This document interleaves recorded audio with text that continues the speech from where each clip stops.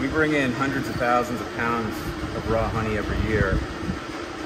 Uh, some of the honey fits the bill for gin production. Other honeys um, might have a little